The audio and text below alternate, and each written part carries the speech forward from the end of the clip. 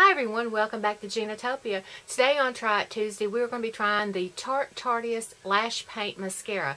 This came in my uh, BoxyCharm box for the month of December, and I have not tried this mascara.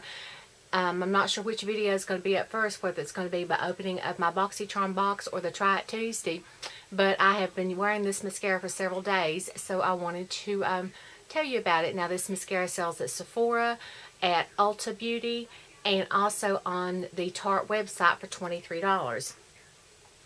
It is a very black mascara and it's vegan and it uh, has a very firm molded brush. And it goes on very wet but it does dry um, but it leaves your lashes kind of I want to say kind of moisturized feeling. It doesn't get that really crisp uh, that a lot of times your lashes will get. So um, let's do on one side of my lashes and let you see what it looks like. Because you know my Try It Tuesday videos are always kind of short. They're never really long and lengthy.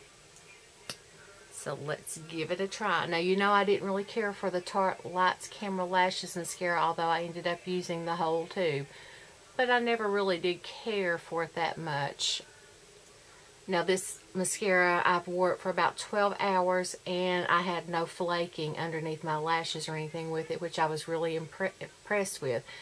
I got a lot more volume, excuse me, I got a lot more length out of it than I did volume. Um, it's a buildable mascara, but you don't want to wait till they dry before you build because um, I thought I found that once it dried, they got just a little clumpy as with most mascaras do. So, and as usual, I'm painting my hair with mascara. Since I fixed my hair before I'm doing my mascara. And as usual in my Try It Tuesdays, I'm just going to do one side of my lashes so that you can get a visual. And here we go. Painted hair and all.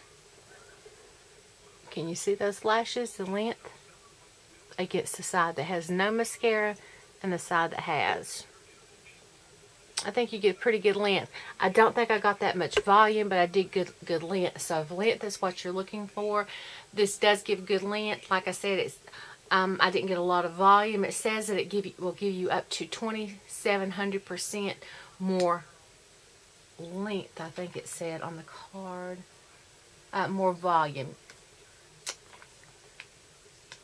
But like I said, I didn't get that much volume. I got more length than I did volume. But let's go in for a second coat and let's see what we get. I'm trying to get close to the camera so that you can see. Move my painted hair.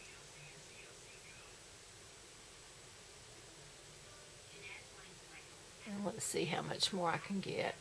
I normally only go in with one.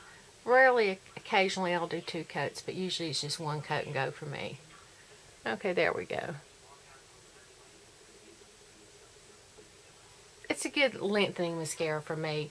Um, it doesn't replace my Better Than Sex mascara, nor does it replace the um, Sumptuous Mascara by Estee Lauder, but um, it is a good lengthening mascara. So, there it is without, there it is with. So it's $23 at Sephora, Ulta, or off the Tarte website. This is the Tarte Tarteist Lash Paint Mascara. I rate it uh, probably a, maybe an 8 on the Ginatopia scale. That's it for Try It Tuesday. And Merry Christmas. Remember, I love you. Share the love, not the hate. Until the next time, I love you.